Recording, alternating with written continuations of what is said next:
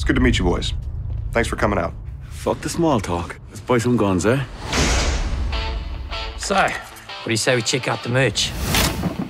That's not what he ordered. They ordered M16s. Really? I'm not running a pizza delivery service.